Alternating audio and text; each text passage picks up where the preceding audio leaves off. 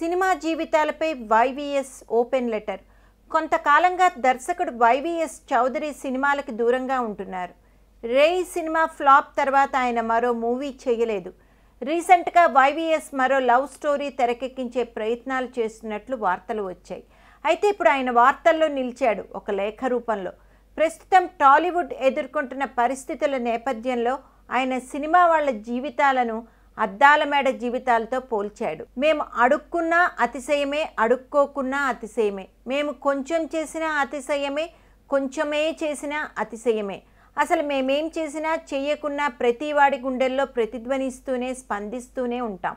ప్రతి శుక్రవారం మా జీవన రేఖలు జీవన సూత్రాలు మా జీవిత గమ్యాలు మారుతూనే ఉంటాయి. అలా ప్రతి సంవత్సరంలో యాభై రెండు సార్లు మార్పులకు చేర్పులకు కూర్పులకు అలవాటు పడ్డవాళ్ళం.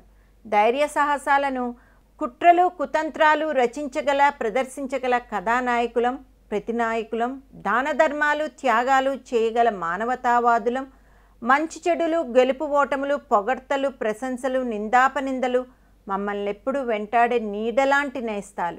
మేము అందరికీ కావలసిన వాళ్ళం. మా అవసరాలకు మాత్రం అందరికీ కాని వాళ్ళం. ఏ మాధ్యమాలకైనా ఏ విషయానికైనా మేమే అవసరం. మేమే ప్రథములం. అలా అని అలలాంటి వాళ్ళం మేము. అలలాగా నిశ్చితంగా నిశ్చలంగా బతకడం చేత కాని వాళ్ళం. కానీ అలలాగా పడినా లేవగల సత్తా ఉన్నవాళ్ళం. మేము దేనినైనా స్వీకరించగలం దేనినైనా భరించగలం దేనికైనా వెనకాడని దమ్ము గలవాళ్ళం. ఎంతమంది ఎన్ని అన్నా అనుకున్నా కళ పట్ల కళాకారుల పట్ల వ్యామోహాన్ని ఆపలేరు. కళాకారుల్లోని తృష్ణని తగ్గించలేరు.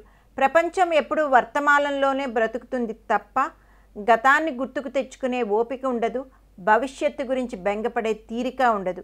కాలప్రవాహంలో ఇప్పుడు సంచరిస్తున్న వార్తలన్నీ రేపటికి సర్దికూడు ఎల్లుండికి విసిరేసిన విస్తరా క్లుప్తంగా. ఈ వర్తమానమంతా రేపటికి ఇంగువ కలిపిన కమ్మని పులిహార. ఎల్లుండికి అందరూ వదిలించుకుందామనే అశుద్ధం.